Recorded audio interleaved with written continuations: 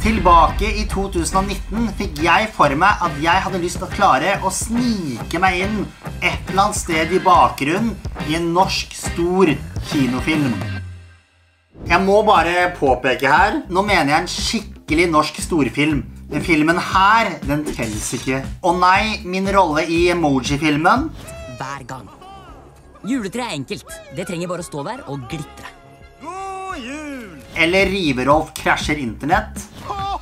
Hei, Martinsen. Nå kom det en her. Se hva han gjør, da. Helst heller ikke, for det var bare dubbing. Men la oss fokusere på det store oppdraget jeg hadde bestemt meg for å reise ut på. Jeg tok i bruk mitt enorme nettverk og klarte å komme i kontakt med nordisk film, de som lager haugevis med store norske filmer. Først så spurte jeg om jeg fikk lov til å være en eller annen som daua i bakgrunnen i filmen som jeg visste de lagde da, som var Nordsjøen. Der fikk jeg et klart nei. Mest sannsynlig så var jeg for seint ute med å spørre, for de var allerede langt ute i filminga. Men så fikk jeg for øre at de også holdt på med en ny, stor norsk krigsfilm. 'Kampen om Narvik'.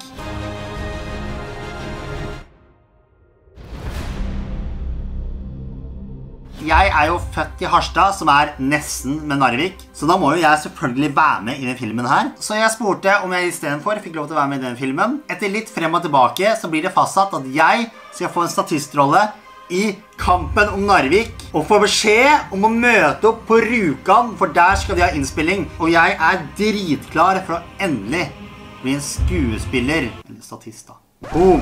Korona. Pga. korona så blir innspillinga av filmen utsatt. Og etter hvert så hørte jeg ikke noe mer fra nordisk film. Det går et år, og for å være helt ærlig så glemmer jeg helt dette prosjektet om å være en del av det store lerretet. Drømmen om at Dennis Vareide skal være med i en skikkelig norsk storfilm, forsvinner.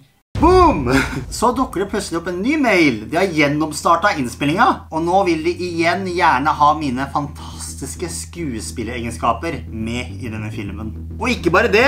Innspillinga denne gangen skal være i Narvik. Eller rett utafor, da, men rett i nærheten av Narvik, da. Så da var det bare å pakke sammen sakene, fly oppover til Narvik, få klippa håret slik at jeg så ut som en ekte soldat fra andre verdenskrig.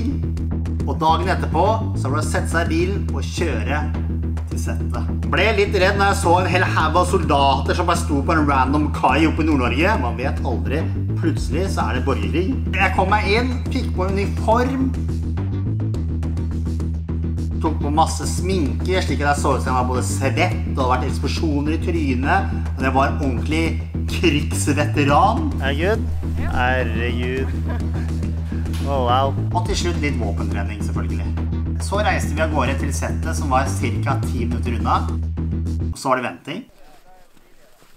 Så var det litt løping. Så så jeg på litt eksplosjoner. Prøvde å løpe litt sjæl. Snakke litt med andre statister. Hva er det jeg blir tenkt på som statist? Tålmodighet. Tålmodighet. Det er mye venting. Mye venting. Venting. Venting. Venting. Føler jeg har blitt en del av gjengen. Jeg er soldat. Leke litt med våpen. Du vet hvor mye det veier, eller? Jeg veier 9 kilo. Matpause. Det her det vi kaller for Hollywood-middag. Oh, Men plutselig så blir jeg pusha helt fram. Jeg skal være close til kamera. Jeg er her. Kamera er der. Min tid til å skinne. Og med en så viktig rolle som jeg nå skulle ta for meg, så var det ikke noe mer lekevåpen som gjorde ingenting når du liksom trykte inn triggeren. Nå skulle det skytes med krutt. For det er et skadepotensial. Ja. Det er jo det det er som først. Worst case. Får en lading i ansiktet, så du ser ikke så pen ut, og du kan ikke se noe lenger. For å være helt ærlig, jeg holdt på å pisse på meg når han sa de greiene der. Skal jeg få ekte våpen med blanks? Nesten litt redd. Så sto jeg der, jeg gjorde meg klar, jeg skulle inn i rollen. Det var på tide at Dennis skulle komme her og redde Norge fra tyskerne. Og så kommer regissøren bort og gir meg veldig tydelige instrukser. Ja, han må legge seg litt lenger opp her sånn for å skyte, for at vi skal se mer av Ja, eh. YouTuber, kjære. Ja. Og så, når du har skutt dine tre, Da går vi tilbake til to, da kjører vi samme okay. timingen. som Da, da Da, da må du ta vurderinga. Springer. Ja. Jeg springer, da springer du ut i åpen. Da, Ja. Ja. at, eh, Det aller viktigste er at du tror på at du er Ja, jeg går helt inn. at du er inni der som snakker Hvis du er altså, død eller liv, og du skal ikke liksom pushe det for mye ut, du hver være der. Det her skal jeg naile. Jeg tror han så et talent der, så han har lyst til å forme som en ny Brad Pitt eller George Clooney. Og nå var det på tide å gjøre de faktiske takesa som kan, kanskje, komme med i filmen hvis jeg leverer. Vær så god!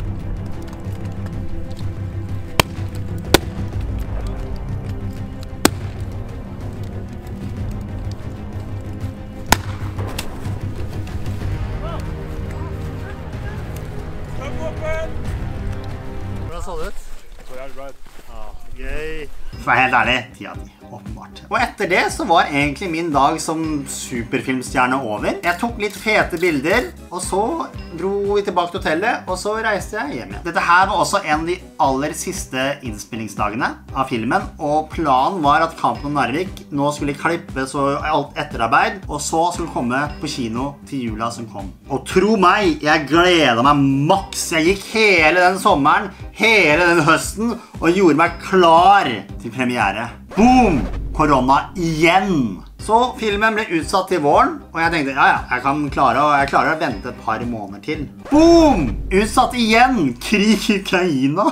Så den ble utsatt enda en gang. Denne gangen til helt til neste jul. Så kom desember. Jeg ble invitert til premiere. Jeg fant fram finstasen, la det ut klart. Jeg var klar til å dra inn til Oslo, dra på premiere, se meg sjæl på det store lerretet i Colosseum. Boom! Jeg ble innkalt til neseoperasjon. Det var en planlagt operasjon, men jeg visste ikke når den skulle komme. Fikk et brev en uke før premieren. Du skal operere deg på dagen det er premiere. Så jeg fikk ikke dratt på premieren. Så det egentlig var ganske kjipt. Men Nordisk Film har vært så snille at de har sendt klipp der de tror jeg kanskje skal være med. Og vi skal se på det nå. Jeg ser ingen signal. Bare fortsett!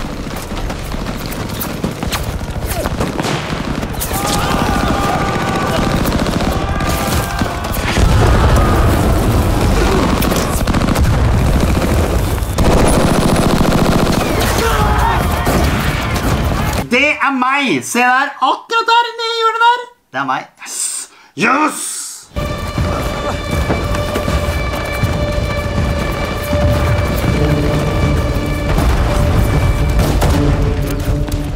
Gunnar. Døra! Det er ikke ditt blod! Og der står jeg igjen. For et skuespill! Jeg klarte det. Jeg er faktisk veldig stolt av meg selv nå. Jeg klarte det, jeg klarte det. Jeg klarte å komme meg inn i en skikkelig classic norsk storfilm. I made it. Og siden jeg har klart å snike meg inn i denne episke filmen, så har jeg også tatt meg friheten til å redigere en plakaten deres, en nordisk film, som dere kan se her. Det er bare å ta den i bruk hvis dere har lyst til å bruke den. Dette her er også min offisielle skuespillersøknad til alle fremtidige norske filmer eller internasjonale, if you're watching. Ta kontakt! Jeg stiller opp på hva som helst. Jeg er klar for mer skuespillerarbeid. Sign me up! Gi meg gjerne en rolle der jeg får lov til å si liksom én linje. Jeg kan si sånn 'halla' eller et eller annet. Jeg er down for alt. Og hvis jeg er en manager i statene som finnes der ute, jeg er down. Jeg er klar for Hollywood.